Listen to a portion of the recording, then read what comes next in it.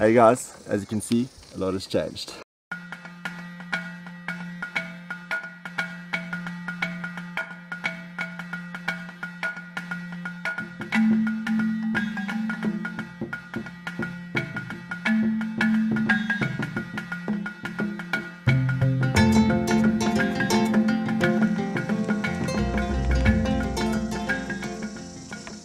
So there we have the wood. 11 pieces of 38 by 228 wooden boards for the floor. As you can see, the veld is horribly dry. We've got our generator, all the tools, know, refreshments. So let's get building.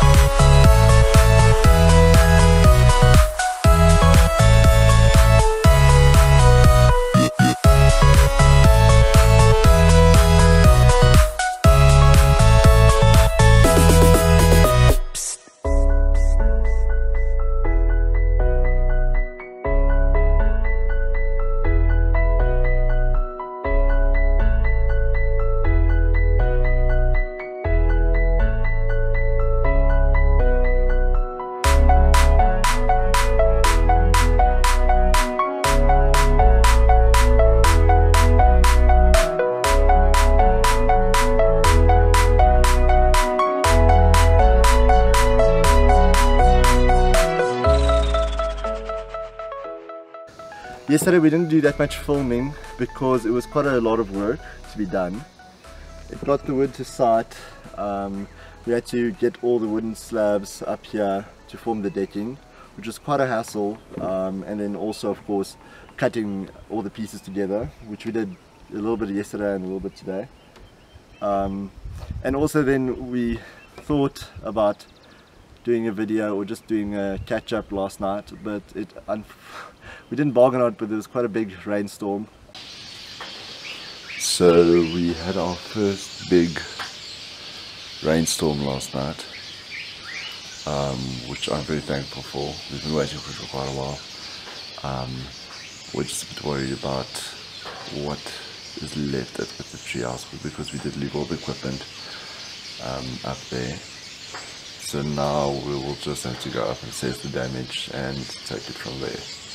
But just let me give you guys a look. Everything is soaking wet.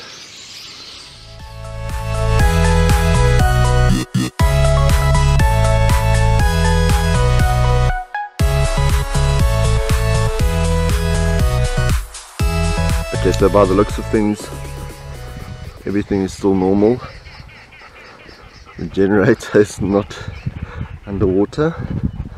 We left that here last night. And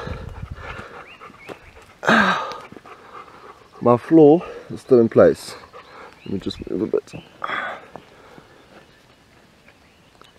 So the big thing was that what I was scared of because the wind was blowing quite badly last night was that this was actually gonna fly off but I see you didn't, which is great. Okay, so we decided to make ourselves a cup of coffee. Now let me quickly explain to you. Yesterday I made a bit of a balls up here because my, oh sorry. So my measurements were out quite a bit for this one. I actually I wasn't thinking and I just made a bit of a boo-boo. Um, so now I'm going to have to salvage what is left. So luckily it's not a lot of work. So I'm just going to cut this one in so that the cable runs in here and that this center pole actually fits in there. Same with that one. Then hopefully it'll work out and then I can actually start spacing these boards in properly and start drilling the holes and then just tightening the platform. But as you can see, we've got a little platform going here and it's a bit cronky. And there's somebody's feet. So yeah, that's actually where we hooked up the GoPro. Just check out this morning.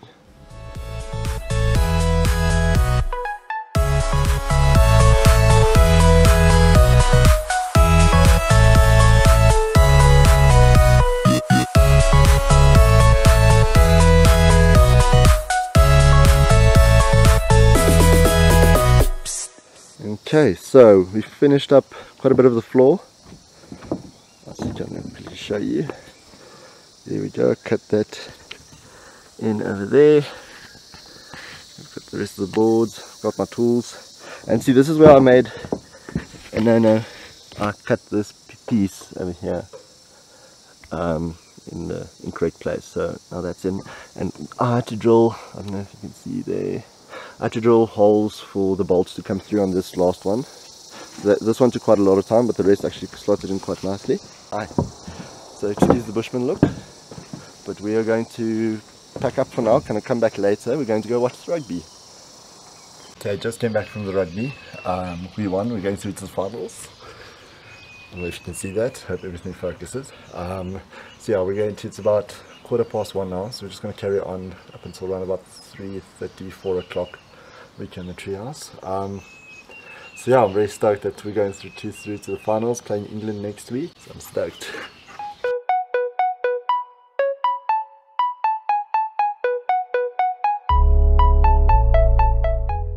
so at the moment we just have to cut in a couple of holes to put in the floorboard because as you can see over here these cables are actually going to press it up against the wood so I'm just going to cut in a little bit like this to allow that it actually shifts in and that it all fits quite snugly. And it's very hot. I'm sweating like crazy